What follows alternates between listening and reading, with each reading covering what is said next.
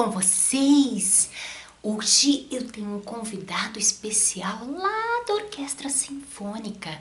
Ele veio mostrar para vocês um instrumento de metal que ele toca.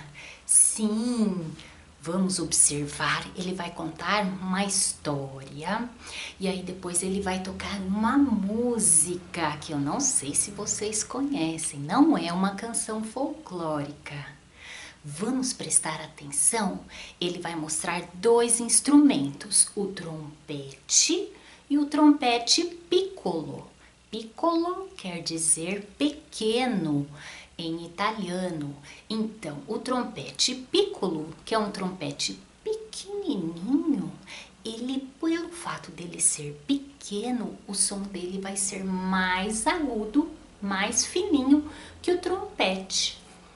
Vocês observem isso também, tá bom? Divirtam-se!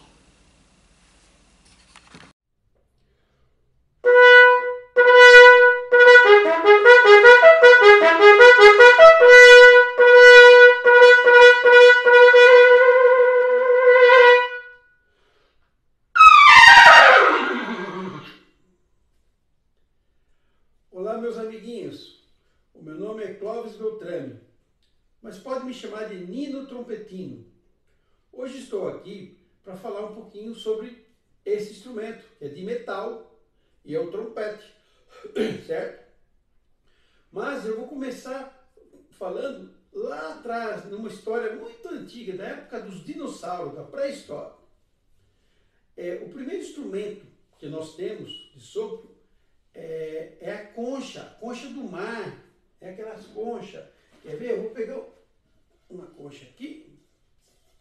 Essa conchona, olha que concha boa. Peguei essa concha, lá aqui no chão, peguei no mar. Então, nós temos que fazer a vibração. Dos, os dois lábios vibram, respiração. Esse som vem para. Né? Aí vai, vai melhorando o som.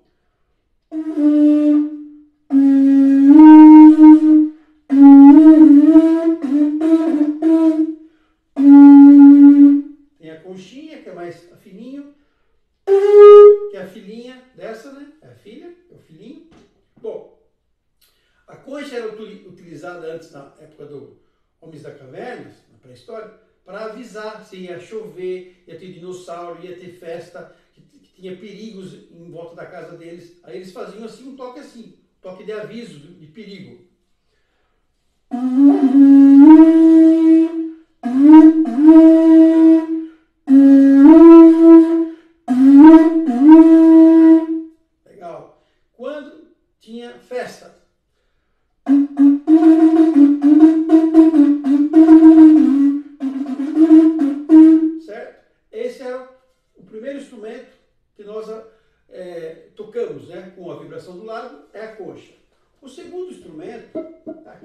também, é esse aqui, é o chifre.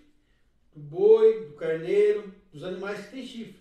Também tinha essa função de avisar o pessoal que estava acontecendo na cidade. Na, na cidade não, nas cavernas, né?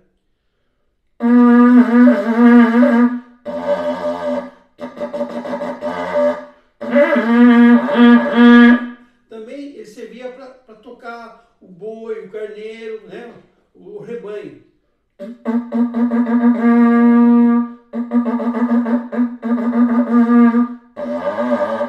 Então esse é o instrumento de chifre. Aí nasceu o trompete. Depois com o tempo foi passando, esse é o trompete. Só que o trompete, esse que é o moderno, que tem as três, três botõezinhos.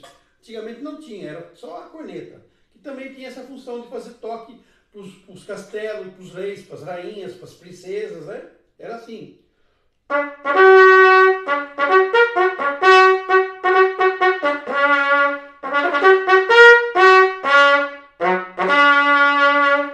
É um aviso, certo? Essa era a função dele. Aí foi evoluindo, até que veio o trompete, e daí, quando veio o trompete, veio junto com o trompete, né, essa corneta, é o bocal. Esse, esse, lembra que tinha a concha, aquele outro instrumento lá, o chifre? Agora a gente vai fazer aquele som do.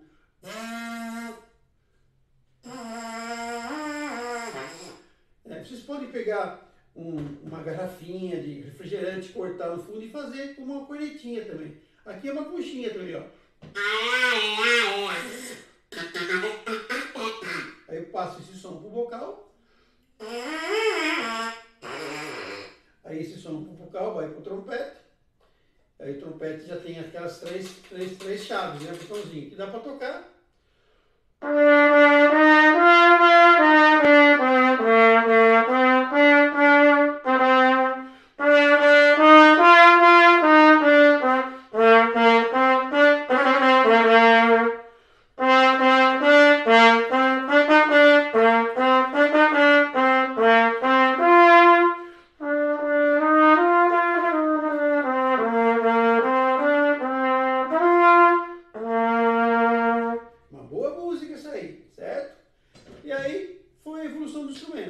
Veio por esse trompete aqui, que esse trompete não tem vocal, é direto, o outro já tem.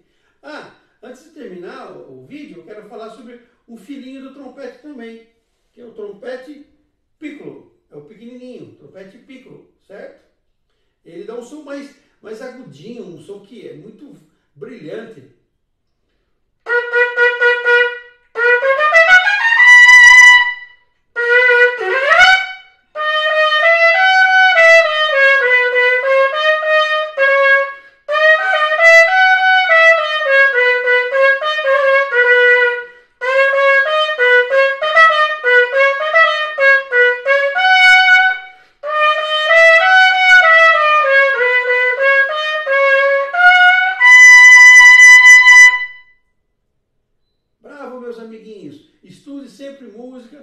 procure um professor de música, de vários instrumentos, de metal, de cordas, de madeiras. É muito importante. Tchau, tchau. Um beijão do Nino Trompetino. Bye, bye. E aí, gostaram? Aprenderam um pouquinho sobre o trompete? O trompete é o instrumento mais agudo da família dos metais da orquestra.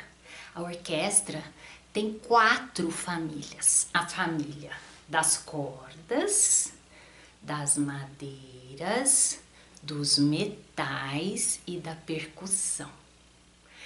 E que música que ele tocou? Algum de vocês conhece? É um trecho da quarta sinfonia do Beethoven. É a ode à alegria é uma música que fala muito da alegria e da alegria da gente estar aqui assistindo esse vídeo também, não é mesmo? Um grande beijo para vocês e uma semana de muita diversão e muita alegria. Tchau!